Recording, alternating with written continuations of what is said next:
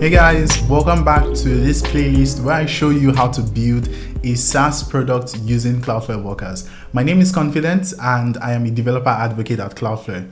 So far, we have completed most bits of the application we're putting together. So in the last video, we saw how to create a durable object that goes on to render the article that is received by the application. And in this video, what we'll do is set up the email sending workflow. So let's switch over to my computer and let me show you what we'll be doing. So looking at the architecture diagram, we already have this bit done. This is what we completed in the previous video.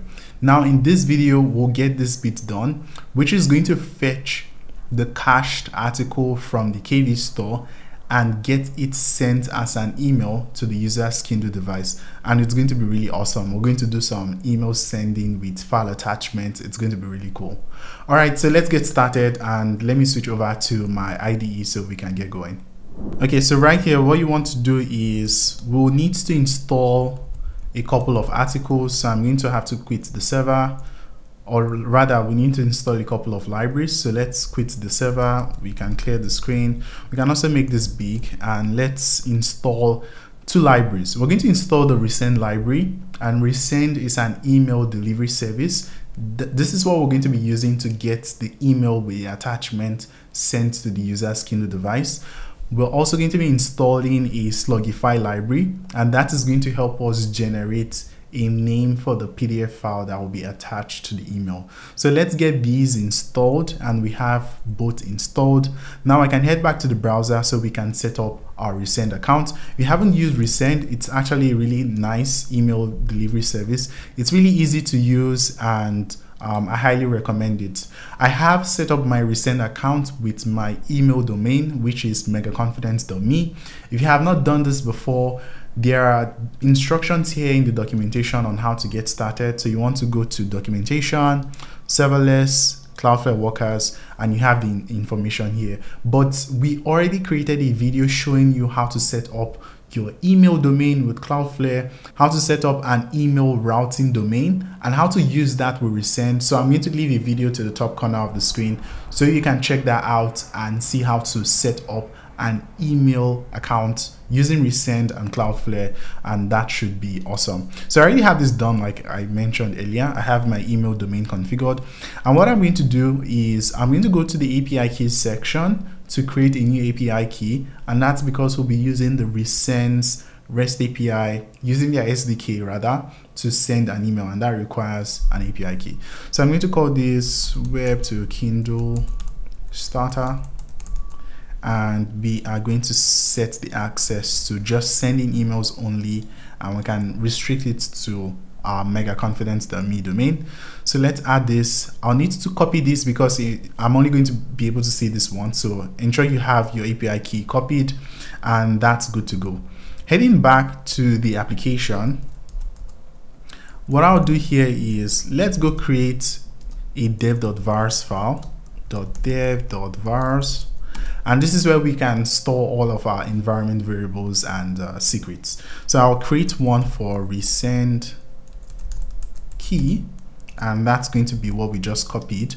Then I also create another for um, the from email because our, our application needs to know what the from email is and that's what you have configured on resend. Uh, I'll explain more in a bit. So this is going to be the from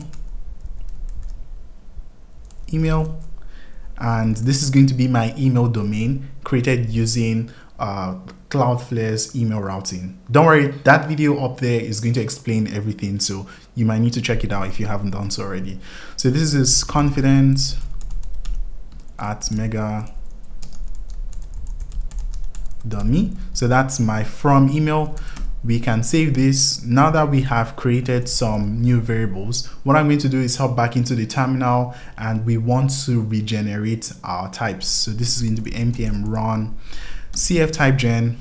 And you notice we now have two new types added to our environment. So we have the resend key which is a string and we now also have the from email which is a string all coming from the environment variable we created in the dev.vars file Now, one thing you also want to do here is that you want to deploy these secrets you have created in the dev.vars file. And it's really important because you want your cloud worker to know about this secrets and so you don't have errors in your application when it's deployed.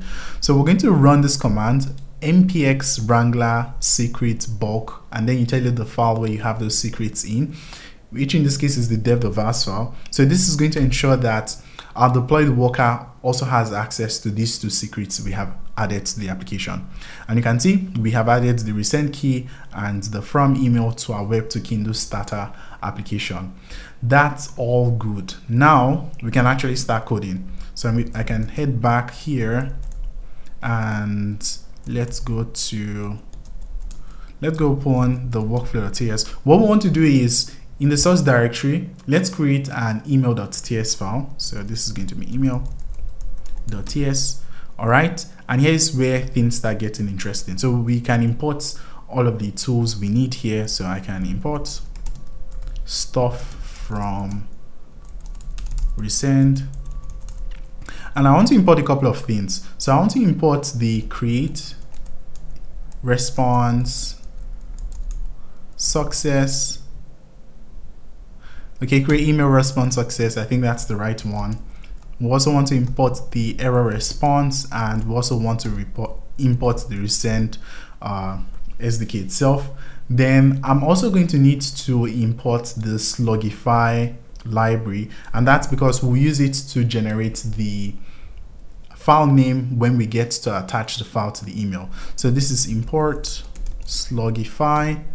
All right, that's cool and here we can create our send function so this is going to be what our send function looks like export default async function send and this is going to have a couple of uh, uh, parameters we want to have access to the environment which is going to be env we also want to have access to the user's Kindle email. Want to have access to the article, which is going to be an array buffer. And lastly, we want to have access to the URL, which is also going to be a string. Then, because this is an async function, we'll return a premise that has a type of email status or some some some sort of status. Let's just call this email email status and that's the body of our function. So let's go create this type. Uh, so type email status is going to be an object that has a data which is the create email response success or null. And it could also have an error which is going to be the type of error response or null. So this is just like typescript stuff but inside of this function this is where we create the email and we get it sent. So to do that i will need to create a new resend instance. So this is called const resend equals to new resend. And want to pass in our API key which we can grab from env.resend key and then we can actually go send the email. But because it's a lot to type i'm just going to copy paste it and i'll explain what we're doing. So here we go to call the send uh, method and we need to tell it what the from email is. So remember we configured the from email in our environment variables. That is going to be used here so that when the email gets delivered and you check the from, you're going to see confident and mega confident dummy in this case. The to email is going to be the user's Kindle email address you can do some validation here to lock it down to only at Kindle email addresses, but I'm just going to leave this open so we can test this with a non-Kindle email address. And you can set a subject, you can set a text, and lastly, you want to add the PDF file which is the article that has been rendered. So we're going to get that article, get it added here, and we're using the Slugify uh, library over here to ensure that we are converting the URL to a slug and then adding a .pdf so that we have like a nicely formatted file name. All right, so this looks good and it seems we have the send function done. I can get this file saved and let's head back to the workflow.ts file.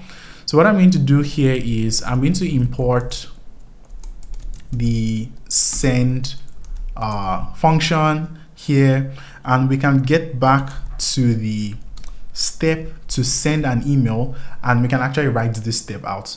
So this step is going to need to fetch the article from the KV cache and then pass it over to the send function so that it is sent as an email to the user. So let's do that. const article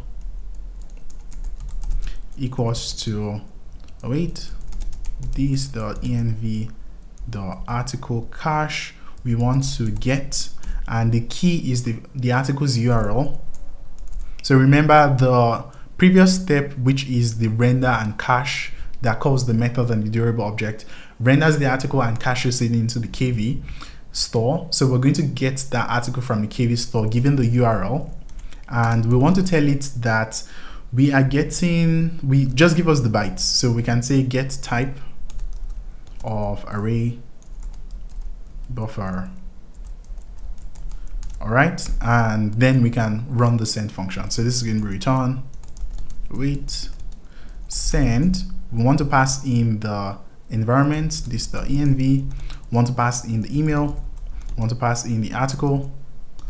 Okay let's ensure that's going to always be there. I also want to pass the url and with that we are good to go. So now we can deploy this app